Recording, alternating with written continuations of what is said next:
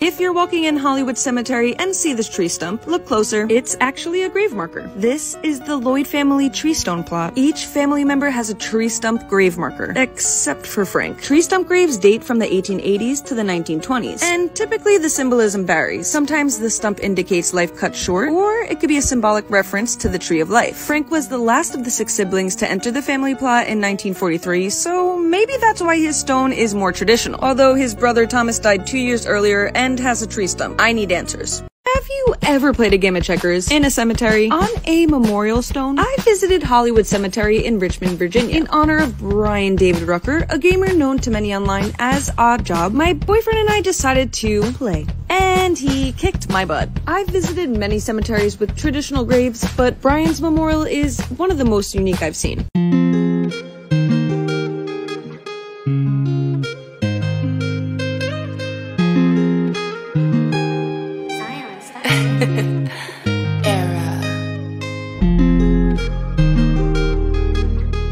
Blair Witch Project Cemetery, Burkittsville, Maryland. One of the most haunted cemeteries in America. Notice the dead grass in the shape of a coffin. The cemetery is known for its unusually high number of child graves. Would you pay it a visit? This is the true story of the unique grave of little Florence Ford. Florence was born here in Natchez, Mississippi in 1861. While growing up, Florence was terrified of thunderstorms to the point to where her mother Ellen would have to comfort her anytime a storm came near. When she was 10 years old Florence tragically died from yellow fever. Her mother was extremely distraught and upon burying Florence, she requested a stairway to be constructed down to the level of Florence's buried casket.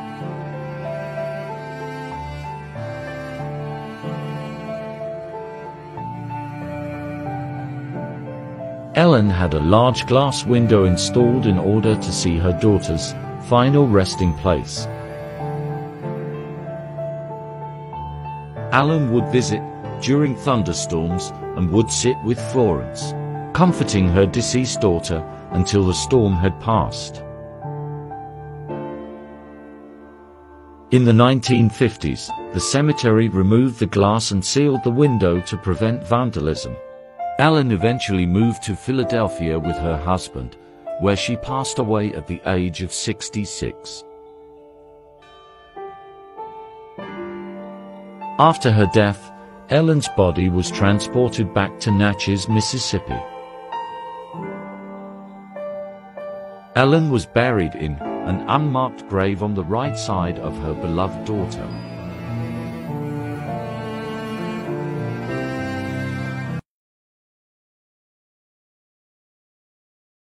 Don't worry, I won't spoil the ending. But if you love to read a good book in the cemetery, there's a monument in Trenton, New Jersey that is quite literally an open book. Repeat after me. Girl boss. Interred here is Eureka Bowne, the first woman to receive a patent for a street sweeper, which is pretty amazing for a female in the late 1800s. Eureka's husband David died before her, and she honored him with a book monument. I'm only on page 235, but...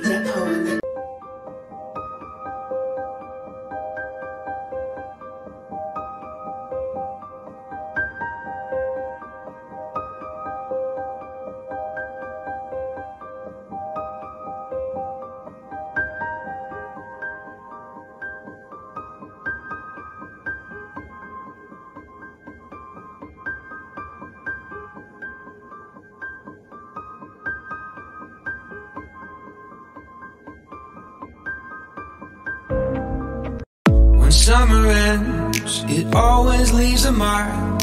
So we can find our way back to the water. But we take our time and lay out on the dock like two cold blooded souls in need of warmth. Take everything that you want, you can have it. And I'll brush the sand from my clothes. No need to be ladylike. Even forbidden fruit you can buy. And every excuse you could possibly use For the way that the world says to be. I'm thinking it's best if we lose that. That only gives us our blues back. Oh,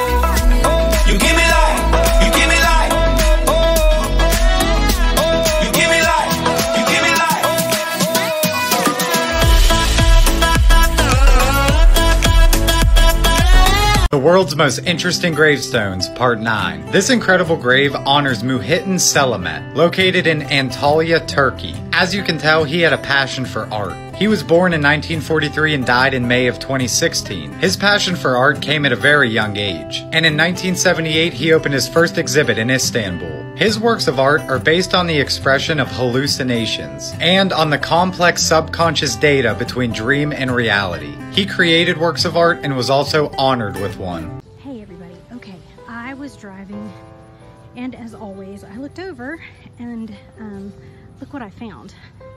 The face seems to be gone, but inside of this shell here, take a look. This says Harrison, Minnie Harrison Hoyt. Um, born in 1851 and died in 1862. Um, I believe probably at some point she probably did have features. Um, and she's a young lady because you can tell because of the way that her shirt is done there. That would have been indicative of the dress of the day back then. Um, but how unique. You guys ever seen anything quite like this? I mean, it is very, very unique.